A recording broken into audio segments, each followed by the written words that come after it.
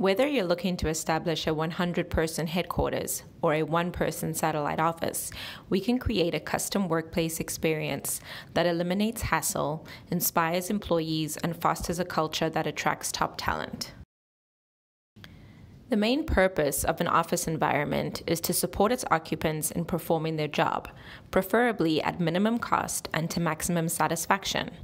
With different people performing different tasks and activities, it is not always easy to select the right office spaces. To aid decision making in the workplace and office design, one can distinguish three different types of office spaces individual spaces, group spaces, and amenity spaces.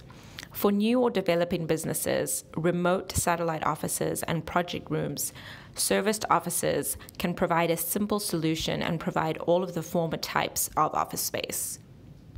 Typically, when a company is designing their office space, an office space expert, such as an architect, interior designer, or office planning expert, will be hired. This professional should include three basic types of spaces in their client's proposal the first one should be an individual space, an enclosed workspace for one person, suitable for activities which are confidential, demand a lot of concentration, or include many small meetings. This is the place where a person will be doing most of their work. It includes a private office, workstations, or focus rooms. The second space should be a group space. Meeting spaces in an office typically use interactive processes, be it quick conversations or intensive brainstorms.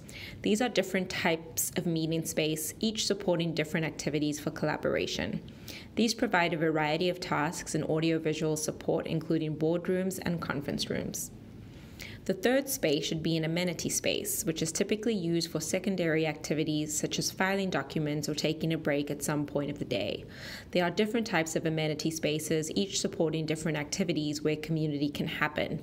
Coffee and kitchen area, storage rooms, server rooms for technology, and circulation areas are a few examples of amenity spaces. So, what is the right size for your company? According to the annual Staples Workplace Survey, it was recently found that the concept of workplace is continuing to evolve. For example, only 32% of employees spend all of their time at work in the office. What's more, a significant portion of 43% said that the option to work remotely is a must have for today's workers.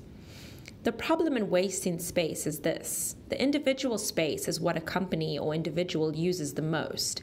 The group and amenity space does not even come close to the amount of individual space that gets utilized. Surprisingly and ironically enough, these last two spaces make up around 60% of the square footage of the office. This means that the company is most likely throwing money away by paying on group and amenity space that is not even being utilized. So, why pay 100% of the 60% of office space when it is actually only being used 30 to 40% of the time? Right sizing takes place when the company pays for the correct balance between individual space and the group and amenity space. This typically looks like 40% of the private space and an on demand group amenity space when it is used. Sharing the group space with others will make the 60% shrink even more and make the office investment more efficient. The next step in order to run the diagnostic and provide you with unbiased, informative input.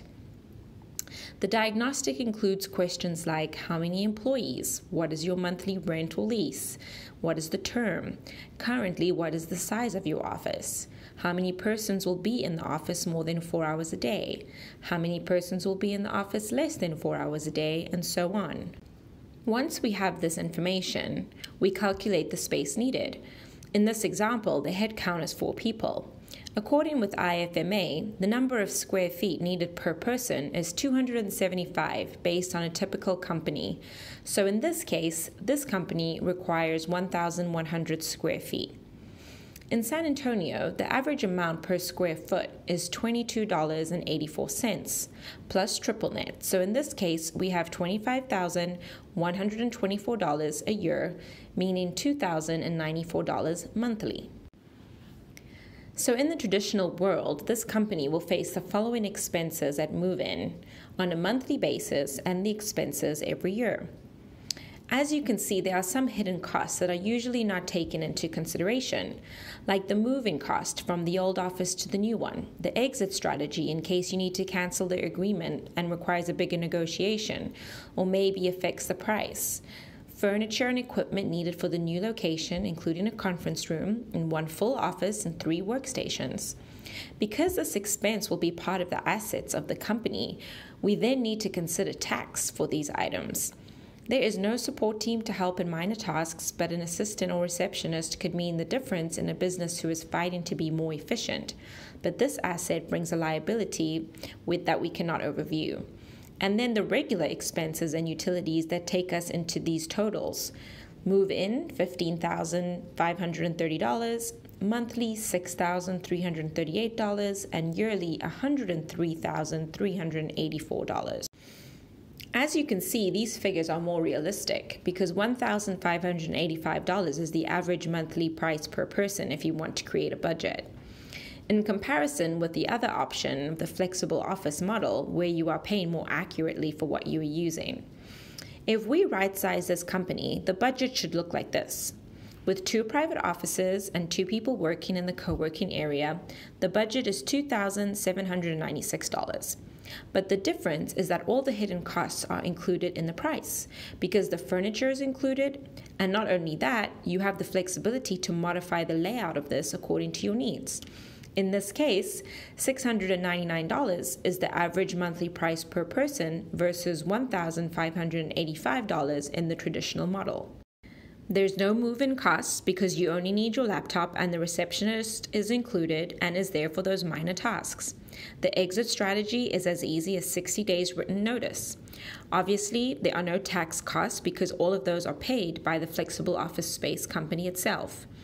Move in is $2,796 because it is the deposit plus your first month, and that's it.